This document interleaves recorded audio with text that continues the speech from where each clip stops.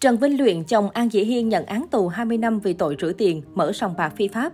Những thông tin liên quan đến chồng đại gia của An Dĩ Hiên vẫn nhận được sự quan tâm của cư dân mạng.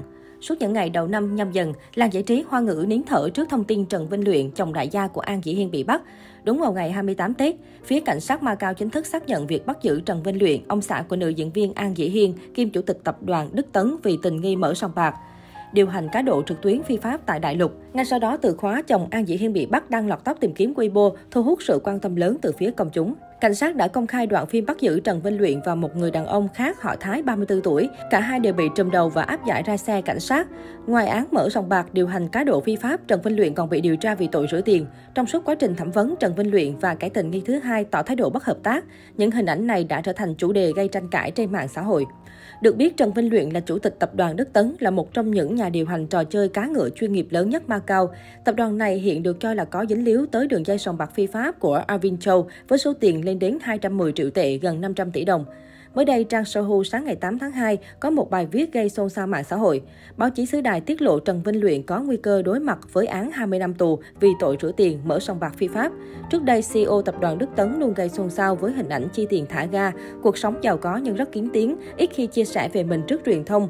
Chính vì vậy, khi có thông tin y bị bắt thì rất nhiều người cảm thấy bất ngờ. Nguồn tin trong giới cũng cho biết sau khi chồng bị bắt, An Dĩ Hiên khóc lóc đau buồn đến mức người ngoài phải dùng từ rửa mặt bằng nước mắt. Trong suốt những ngày Tết vừa qua, tâm trạng của cô suy sụp hoàn toàn vì lo lắng cho chồng. Điều đáng nói, năm xưa An Dĩ Hiên rời xa quê hương Đài Loan để sang Macau sống với chồng. Cô vốn mắc bệnh tim. Chính vì vậy giờ đây, khi gia đình gặp biến cố, người thân và bạn bè tại Đài Loan đang vô cùng lo lắng cho sức khỏe của An Dĩ Hiên. Hiện nữ diễn viên vẫn chưa đưa ra bất cứ phản hồi nào với truyền thông. Theo HK01, vụ án của tỷ phú Trần Vinh Luyện hay tỷ phú Châu Trác Hoa là bê bối kinh doanh chấn động đến từ thế lực đầu ngành cờ bạc Macau. Việc Trần Vinh Luyện bị bắt khiến nữ diễn viên An Dĩ Hiên, vợ của anh cũng trở thành tâm điểm của truyền thông. Sau khi chồng bị tạm giam, An Dĩ Hiên từ chối đưa ra bình luận. Một số nguồn tin tiết lộ diễn viên An Dĩ Hiên rơi vào tình trạng mất tinh thần, không còn thiết tha không khí năm mới. Sau khi chồng cô doanh nhân Trần Vinh Luyện bị bắt, thậm chí mấy ngày cô không thiết ăn uống sau khi lệnh bắt chồng cô được ban hành. Diễn viên tâm sự với người thân rằng đây là giao thừa buồn nhất trong đời tôi. Hiện chồng cô đang bị giam tại nhà tù Colane, Macau để chờ xét xử. Nhiều khán giả bày tỏ sự xót xa với cuộc đời của mỹ nhân xứ đài. An Dĩ Hiên và chồng làm đám cưới vào năm 2017 với sự góp mặt của nhiều bạn bè thân thiết trong làng giải trí. Lễ cưới của họ được tổ chức tại Hawaii, Mỹ và Đài Loan với 200 khách mời tham dự. An Dĩ Hiên được chồng tặng nhẫn kim cương 10 carat. Thời điểm đó, cô được nhiều người ngưỡng mộ.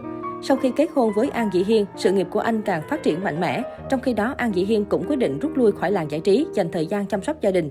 Năm 2019, vợ chồng An Dĩ Hiên đón con trai đầu lòng sau gần 2 năm chờ đợi và tới năm 2020 họ tiếp tục đón thêm một nàng công chúa xinh đẹp. Việc An Dĩ Hiên kết hôn với Trần Vinh Luyện từng được cho là để trả thù hảo tỷ muội cướp người yêu của mình từ Hy Viên. Trước đây, An Dĩ Hiên yêu thầm kinh thành tứ hiếu Uông Tiểu Phi một thời gian dài, thậm chí còn có tin đồn họ đã cặp kè với nhau. Thế nhưng ai ngờ trong bữa tiệc sinh nhật của cô, người chị em tốt từ Hy Viên tới tham dự và quen biết với Uông Tiểu Phi. Cặp đôi này đã trúng tiếng sát ái tình, An Dĩ Hiên bị lẫn tay trây một cách đau đớn. Điều này khiến cho tình chị em thắm thiết một thời của hai mỹ nhân đình đám cũng cuốn theo chiều gió. Khi nhận lời phỏng vấn, An Dĩ Hiên từng công khai chất vấn từ Hy Viên. Tôi không biết cô ấy sẽ đặt tôi ở vị trí nào, bà Mai, phù dâu hay là tình địch nữa.